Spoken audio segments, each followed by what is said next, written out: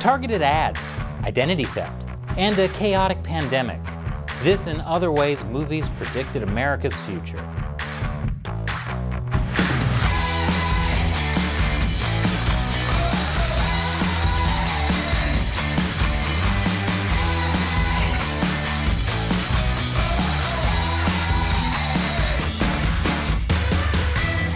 Welcome to America Uncovered. I'm Chris Chappell.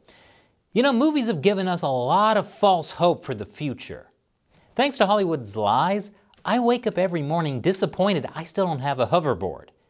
And no, this doesn't count. This is not a hoverboard. It's a Segway with nothing to hold on to. Calling this a hoverboard is like calling a pug a wolf. Will the future ever deliver on any of Hollywood's empty promises? Heck, I'd even settle for the three seashells from Demolition Man. Although I guess empty promises aren't the worst thing to come out of Hollywood. But as many misses as there have been, there are occasionally movies that have correctly predicted things that were coming down the pike. Here are 10 movies that correctly predicted parts of America's future. Number 10. Network is a 1976 film that follows newscaster Howard Beale as he's forced to deal with and benefits from and is ultimately destroyed by the news industry. Network shows a world where corporate news media companies chase ratings through sensationalism and outright fake news. Corporate news media? Sensationalist headlines? Fake news? Was this a prediction or a blueprint of the future? If you want more proof that media companies may have modeled their businesses off the movie Network, Howard Beale had his own show where he ranted about issues he said were destroying the country and whipped his viewers into a frenzy. Remind you of anyone? That's not a coincidence, it's by design. If only News Channel hosts modeled themselves after Mr. Rogers instead, then we can take all the horrible things that happen each day and relegate them to the neighborhood of make-believe. Number 9. The Mad Max series is set in an apocalyptic wasteland where much of the Earth has been reduced to a dust bowl. If you're thinking this level of water scarcity is far-fetched, apparently it isn't. NASA's water expert says this could be the very near future, at least in California. This is because California and much of the Southwest are in an intense drought, and officials are ordering citizens and businesses to cut down on water to avoid the Mad Max future becoming the Mad Max present. These films even predicted that warlords would commit crimes against humanity by stealing and hoarding water for their own gain. This has also come to pass only instead of it being Immortan Joe, it's Nestle. The only thing Mad Max predicted wrong was there would be a nuclear war that caused the lack of water. Instead, it's mainly good old-fashioned political corruption and poor resource management. Also, instead of people fighting for gas, Californians are fighting over charging stations for their Teslas. Number 8. Soylent Green came out in 1973 and takes place in 2022. So how close did this film get to predicting the future? Well, they theorized that overpopulation and climate change would lead to food scarcity, and to combat this, a meat substitute made out of soy and lentils would be unveiled. Yep, that's a bingo. The only difference is that in the movie, the meat substitute was actually made out of people, which sounds horrible until you see that the Impossible Whopper costs a dollar more than the regular Whopper. If I'm going to be spending extra money, I better be getting more than just soy and lentils. More after the break. Welcome back. Number 7.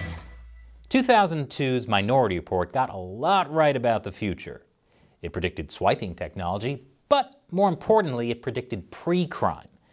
In the movie, psychics known as precogs predict the future and stop violent crime before it happened. And wouldn't you know it, Government agencies say they can do the same thing if we allow them to spy on us. They say part of their job is to stop crimes and arrest people before they've done anything. Although their track record isn't that great, turns out they're not actually psychic. Minority Report also predicted we'd be seeing targeted ads. You may have just seen one during the ad break, assuming this video wasn't demonetized. Although instead of only seeing ads out in public thanks to social media, you get targeted ads in your own home all day, every day. And of course, the most notable aspect about the future Minority Report predicted was that Tom Cruise would be seen as a menace to society. Number 6. RoboCop came out in 1987, The story is set in 2028 Detroit, which had become a dystopian wasteland. Looks like the real Detroit got a head start on that one. Robocop also predicted that in the future, a megacorporation would try to open their own private, corporately run city that would turn into a nightmare. Did that actually happen? What kind of evil corporation in the real world would try something like that, complete with their own private police force? Why, none other than Disney. Robocop is so close to becoming nonfiction, all it needs is Robocop wearing Mickey ears. I'd buy that for a dollar. Number five. The 1987 movie Running Man takes place in the faraway future of 2019. This flick correctly guessed that violent entertainment will get massive ratings. It even predicted a version of deepfake technology, which is used to frame the main character, Ben Richards. But the most impressive thing this movie guessed is that in 2019, Arnold Schwarzenegger would be in a bitter rivalry with a powerful game show host. Seriously, they were right on the money with this one. Number four, the 1995 Sandra Bullock movie The Net seems kind of cheesy and outdated today due to all the advancements in computer technology. Also because it's called The Net. No one calls the internet that. It's like calling pizza za. If you do, you're obviously a cop pretending to be a high schooler. But here's what The Net got right. Sandra Bullock's character almost never leaves her home, barely interacts with her neighbors, and works entirely through the internet. Hello, last two years. Funny enough, while that sounds like a sad existence, it's one a lot of workers are fighting to keep. The net also features Sandra Bullock's character having her identity stolen. At the time, that was scary because it wasn't something anyone really understood. Sadly, identity theft is all too common these days. In fact, it's so common there are even marketplaces for it. So when Hollywood isn't giving us false hope for the future, they're giving ideas to criminals. Great. And even worse, they're giving advertisers ideas. Aren't advertisers the worst? Besides ours, of course. Enjoy them during this break. Welcome back. Number three. Starship Troopers came out in 1997, based on a book from the 1950s. It predicted that propaganda would be used to rally civilians to go to war in a desert region against enemies that overwhelm us with guerrilla tactics. And it turns out the government's excuse for this prolonged war was nonsense, and it was really just about obtaining resources. Uh, yikes. Also, the all gender bathroom in the shower scene isn't that far off either. Number two, remember the 2011 movie Contagion?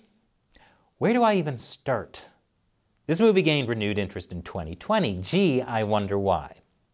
Contagion features a worldwide pandemic and how the government and citizens reacted to it. Politicians were initially hesitant to fully commit resources to fighting the virus, believing it wouldn't be that severe and would be over soon. Then citizens began panic buying as they were told to quarantine.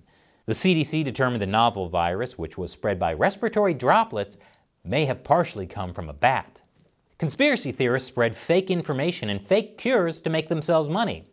And everyone was desperate to get the vaccine as soon as possible. Oh, wait. I thought Contagion may have predicted the future for a second there. Turns out it had no idea what it was talking about. Everyone desperate to get their hands on a vaccine? Stupid movie. Number one, several movies have predicted technology that would be used in the future. Dick Tracy showed us a smartwatch. Fun. Terminator showed us flying murder drones. Uh, less fun. But no prediction about future technology in a movie may have been more accurate the 1996's The Cable Guy. Yes, seriously. In it, the titular cable guy says, The future is now. Soon every American home will integrate their television, phone, and computer. You'll be able to visit the Louvre on one channel and watch female mud wrestling on another. You can do your shopping at home or play Mortal Kombat with your friend in Vietnam. Did a movie starring Lloyd from Dumb and Dumber and directed by Zoolander predict smartphones? Smartphone technology has become the centerpiece of our lives today, but back in 1996, people just assumed Jim Carrey was talking out of his backside when he predicted this. You can't blame people for thinking that, though, since talking out of his backside is what Jim Carrey was known for. So what do you think? What are some other movies that predicted America's future? Leave your comments below. And remember, America Uncovered is supported mainly by viewers. Be sure to visit patreon.com slash America Uncovered. Contribute a dollar or more per episode. We rely on your support to help us keep making great episodes. Or join our exclusive censorship-free social media community on Locals. Check out americauncovered.locals.com. Once again, I'm Chris Chappell. Thanks for watching America Uncovered.